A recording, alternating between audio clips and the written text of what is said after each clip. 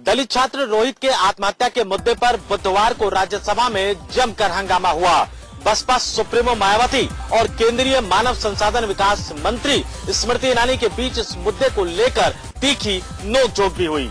दरअसल, जवाहरलाल नेहरू विश्वविद्यालय और हैदराबाद विश्वविद्यालय के मुद्दे पर चर्चा को चर्चा को लेकर राज्यसभा में तमाम दल तैयार हो गए थे।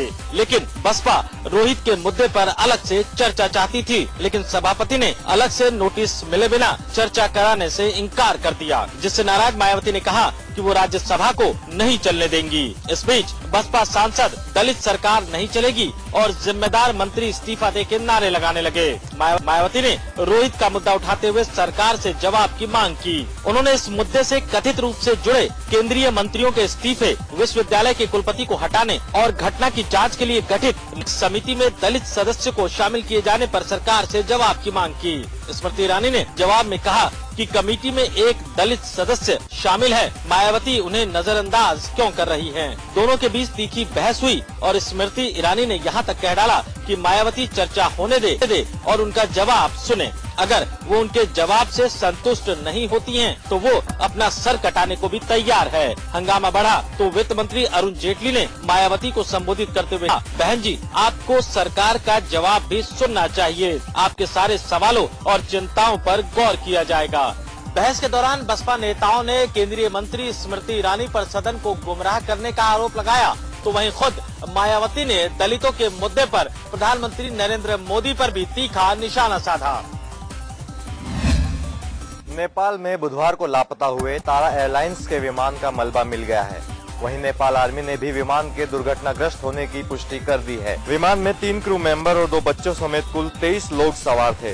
विमान में दो विदेशी नागरिक, कुवैत के अल रसीद अहमद, चीनिया नागरिक माक्सू यिंग भी सवार थे। तारा एयर के विमान nine N A H H ने सुबह करीब सात बजकर पचास मिनट पर पोखरा एयरपोर्ट एयरपोर्ट से जोमसोम के लिए उड़ान भरी थी। विमान एक घंटे तक कंट्रोल रूम के संपर्क में था, लेकिन हिमालय की पहाड़ियों के पास अचानक उसका संपर्क टूट गया। दुर्घटना के पीछे खराब मौसम को वजह बताया जा रहा है। अधिक के मुताबिक सुबह आठ बजकर पचास मिनट के बाद विमान संपर्क से बाहर था। बताया जा रहा है कि विमान को कैप्टन रोशन मांधर और को पायलट डी नेमुकुल उड़ा रहे थे। विमान की एयर होस्टेस रमा रावल थी। वही विमान दुर्घटना की सूचना भारत दौरे पाए नेपाल के प्रधानमंत्री के पी शर्मा ओली को भी दी गई है। जेएनयू स्टूडेंट यूनियन के अध्यक्ष कन्हैया कुमार की जमानत याचिका पर दिल्ली हाई कोर्ट में सुनवाई उनतीस फरवरी तक के लिए टल गई है। उमर खालिद और अनिर्बान, जो कन्हैया कुमार के सहयोगी, बताया जा रहा है उनकी गिरफ्तारी के बाद दिल्ली पुलिस ने हाईकोर्ट से कहा कि उन दोनों के साथ कन्हैया कुमार के बयानों को मिलान करना है, इसलिए हमें जमानत की ज़रूरत पड़ेगी। इसलिए फ़िलहाल कन्हैया कुमार को जमानत न दी जाए। कन्हैया कुमार की जमानत याचिका के पहले दिल्ली पुलिस ने अपनी स्टेटस रिपोर्ट कोर्ट में दाखिल कर दी है। दिल्ली पुलिस ने अपनी स्टेटस रिपोर्ट में कहा है कि जेएनयू में उस 9 फरवरी के दिन देश विरोधी नारे लगे थे और कन्हैया कुमार इन नारों में शामिल था। इस मामले में दिल्ली पुलिस ने कहा कि अभी उमर खालिद और अनिर्मान को हिरासत में लिया गया है। सीधे तौर पर दोनों के साथ कन्हैया कुमार का कन्फ्रंट कराना। इसलिए कन्हैया कुमार को अभी जमानत नहीं दी जानी चाहिए। अदालत ने सुनवाई के दौरान साफ़ तौर पर कहा कि उमर खालिद और अनिर्बान को एक खरोस तक न आए ये दिल्ली पुलिस सुनिश्चित करे। साथ ही दिल्ली हाईकोर्ट ने ये भी कहा है कि दोनों की जो पेशी है, वो पूरी तरह से गुप्त रखी जाएगी। उसमें कुछ चुनिंदा वकील और दिल्ली पुलिस के अधिकारी होंगे। मीडिया के प्रवेश पर भी रोक होगा। फ़िलहाल दिल्ली हाईकोर्ट ने कहा, चूँकि दिल्ली पुलिस कन्फ्रंट कराना चाहती है तीनों को आपस में, इसलिए जमानत नहीं नहीं दी जाती। और आगे अगर दिल्ली पुलिस जमानत लेती है तो 29 फरवरी के बाद ही हम इस पर सुनवाई करेंगे। देशद्रोह के मामले में कन्हैया कुमार को 12 फरवरी को दिल्ली पुलिस ने गिरफ्त किया था और इसी मामले में आरोपी करार दिए गए उमर खालिद और अनिर्बान ने मंगलवार की रात को पुलिस के सामने सरेंडर किया है। कल रोहित वेमुला के नाम पर जंतर मंतर पर प्रदर्शन किया गया और आज कन्हैया और उमर खालिद के खिलाफ। कल का प्रदर्शन वाम दलों का था और आज बीजेपी समर्थन एबीवीपी ने कड़ी से कड़ी कार्रवाई की मांग करते हुए जेएनयू के वामपंथी छात्रों के खिलाफ प्रदर्शन किया। बीजेपी समर्थन एबीवीपी के मार्च की शुरुआत रामलीला मैदान से हुई और जंतर मंतर पर, पर जाकर ये मार्च खत्म हुआ। मार्च करने वाले छात्र डीयू के अलावा जेएनयू और कई केंद्रीय विश्वविद्यालयों से यहाँ पहुँचे हैं। यहाँ प्रदर्शनकारियों की मांग है कि उमर खालिद हो या करा कानून को कड़ी से कड़ी कार्रवाई देशद्रोह के सभी आरोपियों पर करनी चाहिए। खत्म। हाईकोर्ट ने कन्हैया को जमानत नहीं दी, उमर खाली और उसके साथी ने समर्पण कर दिया। इसके बावजूद एबीवीपी छात्र यूनियन की मांग है कि कार्रवाई और ज़्यादा कड़ी होनी चाहिए। बजट सेशन के दूसरे दिन रोहित बेमुला मामले में राज्यसभा में आज जमकर हंगामा हुआ। बीएसपी और लेफ़्ट के कई सांसदों ने सरकार के विरोध में नारेबाजी की जिसके चलते राज्यसभा को कई बार स्थगित करना पड़ा। एचसीयू में हुए रोहित बेमुला खुदकुशी मामले पर बुधवार को संसद में जमकर हंगामा हुआ। लेफ़्ट जेडीयू और बीएसपी सांसदों ने बेल में आकर बीजेपी आरएसएस मुर्दाबाद, नरेंद्र मोदी मुर्दाबाद और नरेंद्र मोदी इस्तीफा दो के नारे लगाए। इसके बाद राज्यसभा की कार्रवाई को 10 मिनट के लिए स्थगित कर दिया गया। इसके बाद जब कार्रवाई शुरू हुई तो एचआरडी मिनिस्टर स्मृति ईरानी ने कहा कि बीएसपी तथा अन्य दल रोहित बेमुला की हत्या मामले को राजनीतिक हथियार की तरह इस्तेमाल कर रहे हैं। स्मृति के ऐसा कहने के बाद जब नारेबाजी और तेज हुई तो संसद की कार्यवाही को दोपहर 12 बजे तक के लिए स्थगित कर दिया गया। इसके बाद तो सिलसिला ही निकल गया। सदन की कार्यवाही के दौरान बीएसपी सुप्रीमो मायावती ने कहा कि सरकार उनके सवालों का जवाब दे। इस पर भाजपा की ओर से मुख्तार अब्बास नकवी ने कहा कि हम चाहते हैं कि इस मुद्दे पर चर्चा हो। उन्होंने कहा कि हम चाहते हैं कि बहस हो, लेकिन बीएसपी की ओर से नारेबाजी जारी रही। संसदीय कार्य मंत्री एम वेंकैया नायडू ने कहा कि सरकार हर मुद्दे पर चर्चा को राज़ी है। लोकसभा में कांग्रेस के नेता मल्लिकार्जुन खड़गे ने कहा कि हम देश के अहम मुद्दों पर चर्चा चाहते हैं। बीजेपी के राष्ट्रीय अध्यक्ष अमित शाह ने बहराइच ज़िले में एक चुनावी सभा को संबोधित करने के साथ ही यूपी में विधानसभा चुनाव का बिगुल बजा दिया। इस दौरान अमित शाह ने अपने विपक्षी पार्टियों पर जमकर हमला बोला। अमित शाह ने ज़िले के गुल्लावीर मंदिर में प्रतापी राजा सुहेल देव की प्रतिमा का अनावरण भी किया। बीजेपी ने बहराइच ज़िले में जहाँ दलित वोट बैंक को अपने पाले में करने के लिए पासी समाज के प्रतापी राजा सुहेल देव की प्रतिमा का अनावरण कर पूर्वजों को सम्मान देने की बात कही, वहीं दलित समाज पर जमकर डोरे भी डाले। यही नहीं अमित शाह ने कहा कि बीजेपी पूर्वजों का सम्मान करने वाली पार्टी है। अमित शाह ने बहराइच ज़िले के मंच से कांग्रेस के राहुल गांधी और सोनिया गांधी दोनों पर जमकर निशाना साधा। जेएनयू प्रकरण पर उन्हें सफ़ाई देने की बात की। अमित शाह ने कहा कि बीजेपी भारत में उन्माद और भारत विरोधी नारे बर्दाश्त नहीं करेगी। इस दौरान अमित शाह ने कहा कि अगर आप केंद्र सरकार की योजनाओं को रोकोगे कि प्रदेश में बीजेपी की सरकार बनेगी, वैसे भी यूपी की जनता सपा और बसपा से उब चुकी है। कोर्ट के दखल के बावजूद आरोपियों पर कार्रवाई न होने से परेशान श्रावस्ती से आई एक महिला ने लखनऊ के विधानसभा के सामने मिट्टी का तेल डालकर खुदकुशी करने का प्रयास किया। लखनऊ विधानसभा के सामने श्रावस्ती से आई महिला सरोज ने अपने पूरे परिवार के साथ मिट्टी का तेल छिड़क कर आत्मदाह का प्रयास किया। घटनास्थल पर मौजूद महिला पुलिसकर्मियों ने महिला को बमुश्किल आत्मदाह के प्रयास से रोक लिया। महिला के साथ उसके छह मासूम बच्चे भी मौजूद थे, जिन पर भी महिला ने तेल छिड़क दिया था। पीड़ित महिला का आरोप है कि श्रावस्ती स्थित उसकी ज़मीन पर कुछ दबंगों ने पुलिस वालों के साथ मिलकर कब्जा कर लिया है। कोर्ट के दखल के बावजूद आरोपियों पर अब तक कोई कार्रवाई नहीं हुई, लिहाजा उसने आपदा का फैसला किया है। हालाँकि पीड़ित महिला की माने तो दबंग लोगों ने इससे पहले भी उनके परिवार को एक्सीडेंट करवा चुका है और कुछ दिन पहले दबंगों द्वारा पीड़ित महिला की इज़्ज़त लूटने का भी प्रयास किया गया था। इन सबसे भी दबंग लोगों का जी नहीं भरा तो दो दिन पहले दबंगों ने उसके घर पर जबरन कब्जा कर लिया और उसके साथ जमकर मार पिटाई की। इतना ही नहीं, पीड़ित महिला ने ऐलान कर दिया है कि अगर पुलिस अधिकारियों द्वारा कार्रवाई नहीं हुई आरोपियों पर तो आगे भी वो आत्मदाह करेगी। मुख्यमंत्री की तमाम हिदायतों के बावजूद उत्तर प्रदेश पुलिस सुधरती नज़र नहीं आ रही है। ताज़ा मामला राजधानी लखनऊ के गाजीपुर इलाके का है, जहाँ डीआईजी लखनऊ ने एक बुज़ुर्ग को जोरदार थप्पड़ जड़ दिया। यूपी की राजधानी लखनऊ तहजीब के लिए पूरी दुनिया में मशहूर है, लेकिन यहाँ की पुलिस ही इसे बदनाम करने में जुटी है। मामला गाजीपुर थाना क्षेत्र का है। दरअसल मंगलवार शाम करीब आठ बजे डीआईजी देवेंद्र कुमार चौधरी गाजीपुर थाने के आम्रपाली मार्केट के पास जाम में फंस गए। जाम देखकर डीआईजी गाड़ी से उतरे और सीओ गाजीपुर सहित थाने की पुलिस को मौके पर तलब किया। मौके पर पहुँची पुलिस जाम खुलवाने में जुट गई। पुलिस जब अतिक्रमण हटाने लगी, उसी दौरान वहाँ दुकान लगाए एक बुज़ुर्ग प्लास्टिक व्यापारी को डीआईजी ने थप्पड़ जड़ दिया। आम्रपाली मार्केट के पास बुज़ुर्ग केपी तिवारी अपनी प्लास्टिक के आइटम्स की दुकान लगाते हैं। मंगलवार की घटना के बाद से वो इतना खौफ में हैं कि वो इस बात से ही इनकार कर रहे हैं कि उन्हें किसी ने मारा है, जबकि वीडियो में पुलिस के आला अधिकारी बर्बरता करते साफ़ दिखाई दे रहे हैं। ऐसा पहला मामला नहीं है जब राजधानी का कोई बुज़ुर्ग राजधानी की पुलिस के गुस्से का शिकार हुआ हो।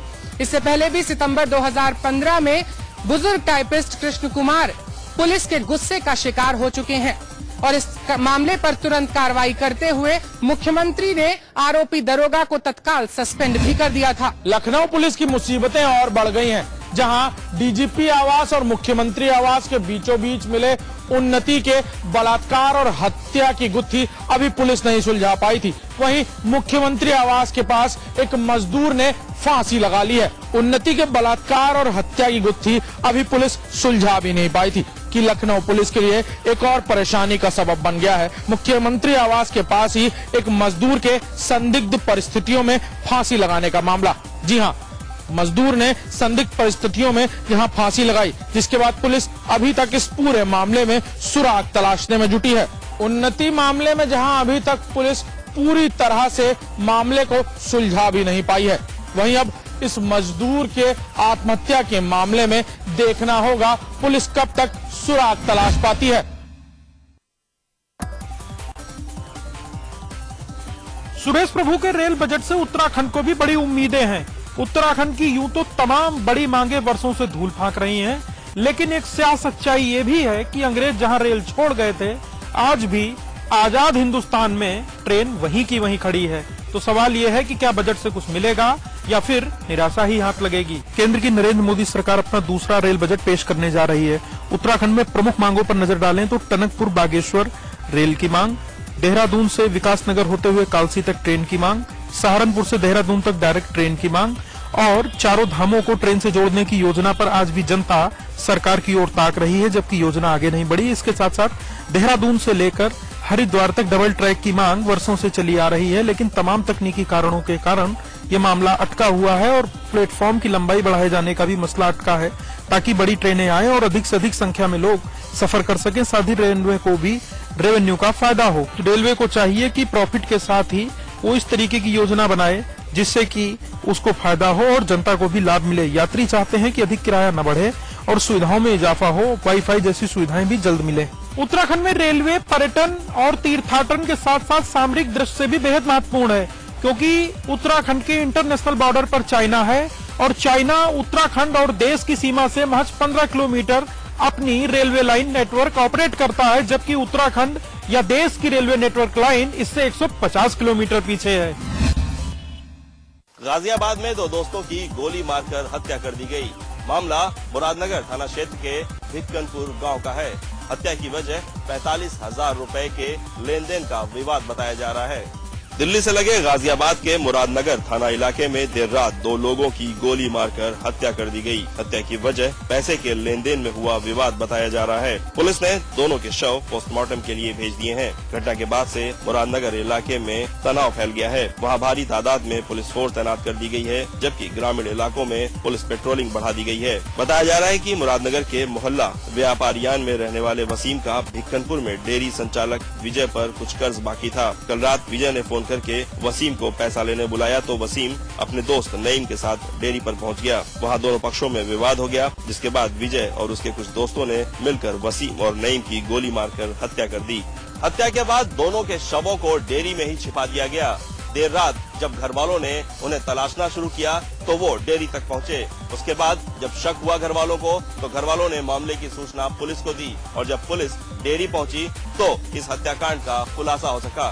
बहरहाल, पुलिस ने इस मामले में पाँच लोगों को गिरफ़्तार कर लिया है। पहले मांगों को लेकर सरकार से वार्ता, उसके बाद सड़कों पर उतरकर आंदोलन। कुछ ऐसा ही नज़ारा देखने को मिला है राजधानी देहरादून की सड़कों पर, जहाँ वन विभाग के तमाम कर्मचारियों ने सड़कों पर उतरकर सरकार के खिलाफ विरोध प्रदर्शन किया है। वन फ़ील्ड अधिकारी कर्मचारी महासंघ उत्तराखंड ने देहरादून में विशाल रैली निकालकर विरोध प्रदर्शन किया है। देहरादून के वन मुख्यालय ऐसी निकाली गई रैली में वन विभाग के तमाम कर्मचारी शामिल हुए हैं। कर्मचारियों का आरोप है आरोप है कि विषम परिस्थितियों में काम करने के बाद भी सरकार उनकी मांगों पर कोई ध्यान नहीं दे रही।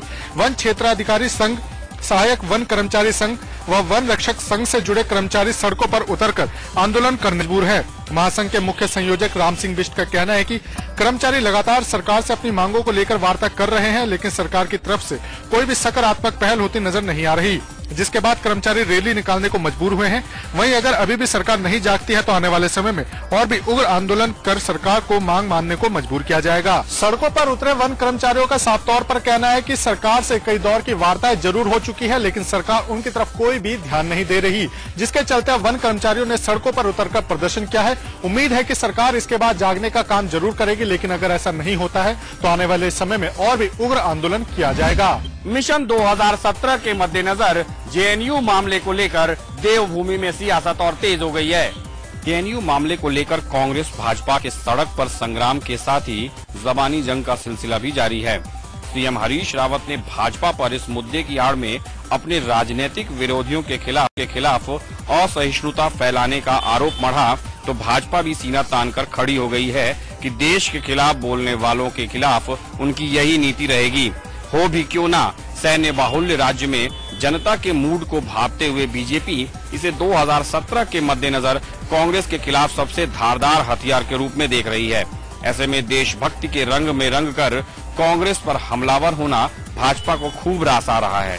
इसलिए पानी पी पी कर और सीना ठोक कर भाजपा नेता कह रहे हैं कि इस देशद्रोहियों के खिलाफ वे हमेशा ज़ीरो टॉलरेंस ही रखेंगे। जेएनयू मामले पर भाजपा इमोशनल कार्ड खेलने की जुगत में है। लिहाजा अब कांग्रेस भी भाजपा पर हमले तो कर रही है, लेकिन जरा संभल कर।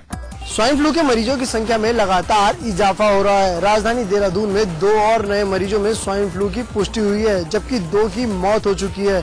हालाँकि विभाग ने अलर्ट जारी कर दिया और आदेश दिए कि सभी को आइसोलेशन वार्ड बना लिया जाए, नहीं तो सभी पर कार्रवाई भी की जाएगी। गर्मी का असर बढ़ने के साथ ही स्वाइन फ्लू के संक्रमण भी बढ़ता जा रहा है। राज्य में दो नए मरीज़ और स्वाइन फ्लू की पुष्टि हुई है।